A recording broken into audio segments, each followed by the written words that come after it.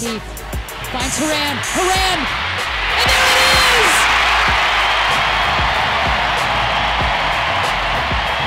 That's vintage stories.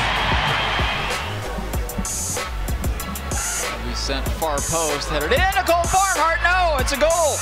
And an equalizer for Portland.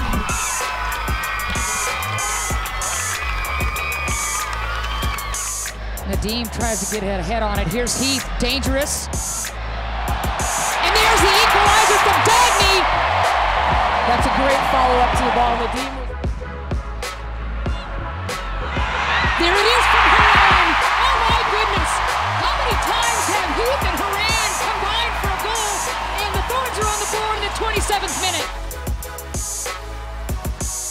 And here is a Portland goal. A right-footed tally coming in the 90th minute. To Portland with a lot of numbers up. Good touch to Brynja Stoddard.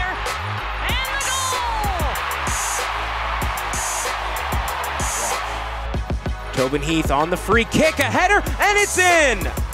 Portland equalizes in the 41st minute. Tobin Heath, now her 10th assist of the season.